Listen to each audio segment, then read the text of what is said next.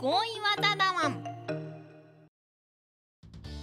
この地域には珍しいスポーツを体験できるお店があるんだワン。それがここエアージャンク。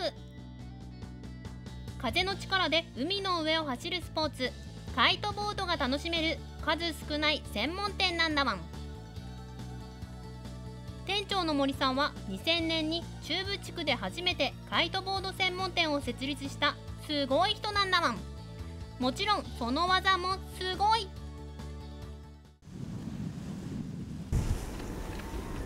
わお。海の上で1回転しちゃうワン。レッスンは一年中やっているからみんなも体験してみてね。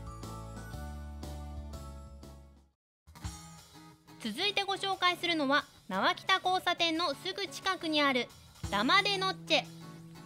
ここはビリヤードが楽しめる場所なんだワンポケットビリヤードはキューと呼ばれる棒でボールをついて他のボールにぶつけてから穴に落とすというスポーツなんだワン年齢関係なく気軽に始められるのが魅力だね。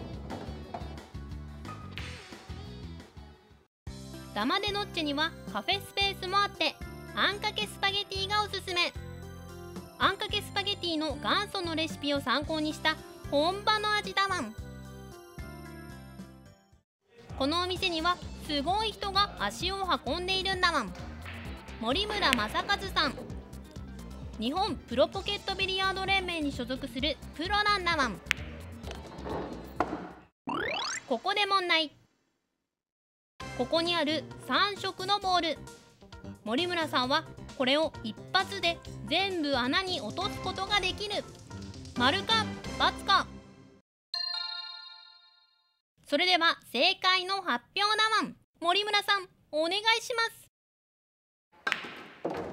あれ？まだ1個残ってるけど。おおボールが球の上を転がって。入ったということで正解は丸。さすがプロ。お見事だマン